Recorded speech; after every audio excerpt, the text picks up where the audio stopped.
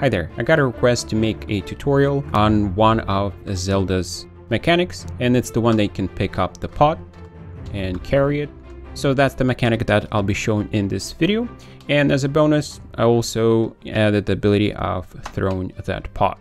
So let's get started. The project that I'm going to be using in this video is made by Mr. Taft Creates, and he has a tutorial series on how to make a game like Legend of Zelda. I'll leave a link in description, you can check it out, maybe you'll find something useful there. I'm using that project as a starting base for this tutorial. You don't have to download that project to understand what's going to be going on here. The script I'm going to be creating is the pickup script. Now what I'll be picking up is the pot so let me find a pot right here. And this is just a sprite. So I'll set it to one and the pot is going to be a pickup item. Now, the way that I'm going to configure the pot is that it's going to be on layer pickup. So you can go ahead and create that layer if you want to follow along this step. And the components that I'm going to add here is a box collider 2D. Let's make sure that it's closer to that object. So something like that. And then we can also add a rigid body 2D. Now the script that I'm gonna make is gonna work with both a rigid body or just a box collider 2D. But if we add a rigid body, then we have the ability of pushing the object around. Now, just quick settings for the rigid body. I don't want to use gravity scale, so set it to zero. And I want to set linear drag to 20 so that the object would stop moving as soon as I stop pushing it. Also turn on freeze rotation and that's the configuration that I'm to have for the pot. Now let's go to our player. This is where I'm going to add the pickup script. So let's go at the bottom right here and add a new script. I'll call it pickup, new script, create and add. So here is my script. Also for my player, I want to add the place where I want to hold that item. I want to hold that item above my player's head and I'll create a empty game object. I'll name it hold spot and I'll move it up somewhere around here. Okay, let's go back to our player and start editing the script. So the first thing that I want to do is add the logic of being able to pick up that pot. And one of the things that we need is the location where we want to place the pot when we're holding it. We'll add a public transform hold spot variable. Then I want to filter the objects that are just in the layer mask pickup. So we'll add that public variable as well. And I need to add one more variable, but this one is going to be a little bit different than the other ones. And the variable is going to be the direction. So for my pickup logic, how I'm thinking of making it is I need to know which direction the player is facing. That, of course, we need to get from our player movement script and we'll connect that a little bit later. But how I have this variable set up is it uses getters and setters, so get and set. That variable won't be available in the inspector, as you can see that I can't see it here. Let's actually connect those uh, other variables, hold spot, and the mask, I want to pick up mask you can see that the direction variable is not available here. And it's because we have the get and set function available publicly, not the variable. So that's the public variables. And now let's add a private variable. The only private variable that I need is a type of a game object, and it's going to be the item that I'm holding. The idea is once I pick up the item, I want to store that game object inside this variable so I can access it when I need to drop it that's the variables that we're gonna need and we don't need a start method we're gonna go directly into the update method now inside the update method I need to check for a key input so I'm just going to use input get key down and I'm going to use the key code E. Now when I click on the keyboard, the first thing that I need to check is if I'm holding an item. So if item holding, in here I would want to add the logic of dropping it, but Let's first go into the else statement. And this is where I need to add the logic of picking up the item. Now the logic that I'm going to use for picking up an item is a physics 2D overlapping circle. And I'll be checking the transform position from our player's position plus the direction the character is facing. The direction is going to be a magnitude of 1. So if you want to look farther away than one unit, you can go ahead and multiply it by a multiplier or if you want to look closer, you can multiply it by a fraction. The next option is the radius, and I'm using radius of 0.4. You can change the setting to your liking, and here is where I use the mask to get only the items that I can pick up. Now this overlapping circle method returns a collider 2D, so I'll store it in picked up item. So once I get that variable, I need to check if it's not null. So if there is an item that we can pick up, then I store the game object into the item holding. That's the private variable that we have here. Change the position of that item to the holding spot position. And also set the parent of that item to my player so that the item would follow with my player. One last thing that I have to do is check if we have a rigid body 2D on our item. If we do, we need to make sure that we set simulated to false, otherwise the object won't follow the player. So that's the pickup logic and we can actually save it and test it out.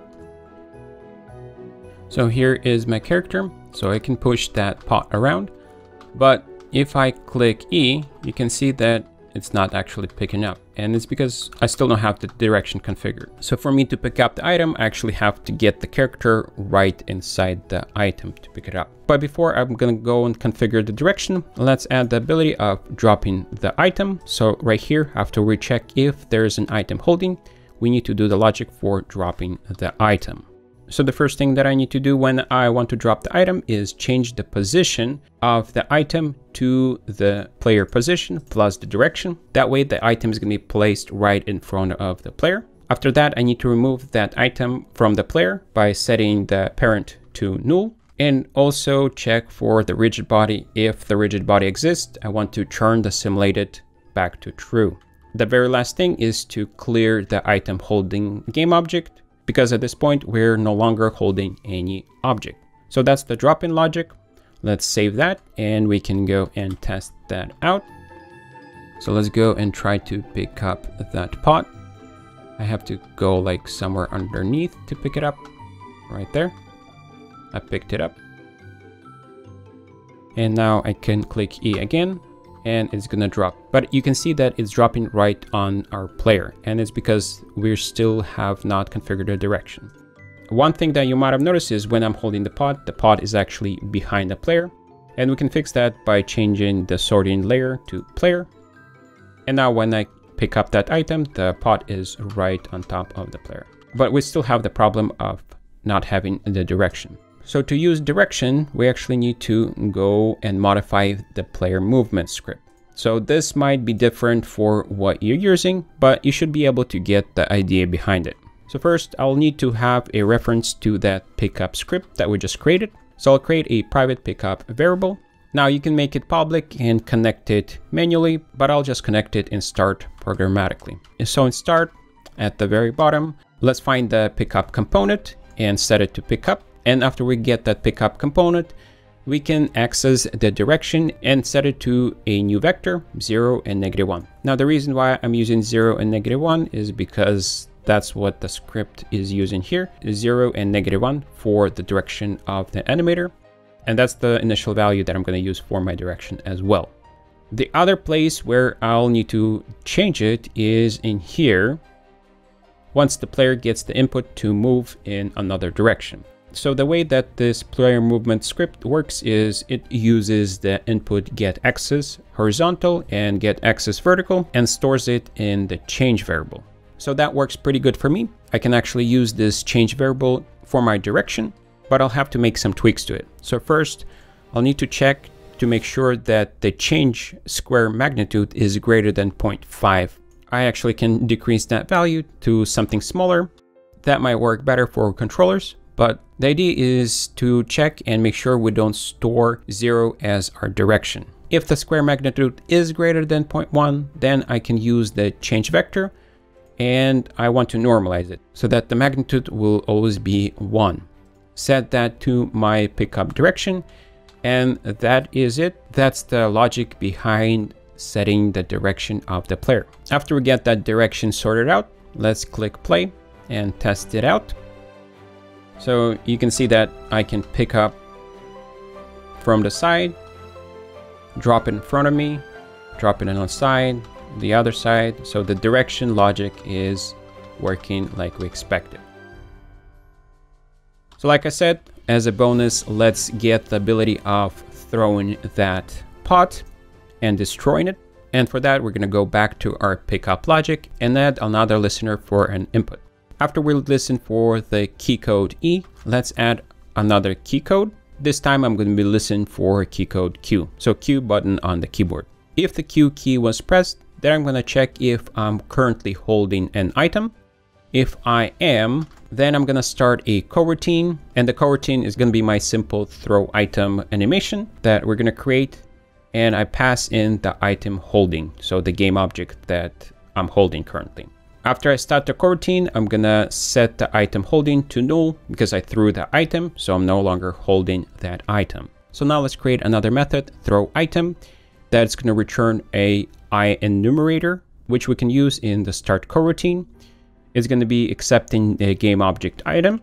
The first thing I'm gonna do is store the starting position. So the position where I'm holding that item right above the player's head in my case. And then I'm going to calculate the endpoint where I want that object to end up after I throw it. So I decided to just do it pretty simple. Transform position plus direction times 2. So it's going to end up twice as far as a regular drop item. Then I'm going to disconnect that item from the parent by setting the parent to null. And in here, I'm going to start the animation. So I'm just going to go for 25 frames by using a for loop and I'm gonna lerp the position from the start point to the end point by using i multiplied by 0.04. If someone is wondering where the 0.4 came from, it's uh, 1 divided by 25. After I do that simple animation of sorts, then I can check if the rigid body exists. If it does, I can turn on the simulate back to true if you want the item to just stay on the ground, but you might also want to destroy the object if it gets thrown. So it's up to you to decide. So I'm going to do a quick implementation of destroying that object. So first I'm going to instantiate the destroy effect. And there's going to be a game object that we're going to pass in into our script. I'll instantiate that effect on our item transform position. The rotation is going to be quaternion identity. And after I instantiate the effect, I can destroy the item since we're no longer needed. The logic here is probably going to be very different in your case, but just for demonstrations, that's a quick way of doing it. Like I said, I need another public variable, the game object destroy effect. Let's add that, click save, go back to Unity, and we'll need to connect that destroy effect. There is one effect that we have here, and it is enemy destroy. So I'm just going to use that. Let's duplicate those spots so we have a little bit more to test with. So place them all over the scene and let's test it out. So we can pick it up, put it down, we can drop it and destroy it. If you want to get the pickup script that I showed how to create, I'll leave a link to GitHub in description so you can check that out. If you enjoyed the video, click on the like button. Don't forget to subscribe to my channel and I'll see you in the next one.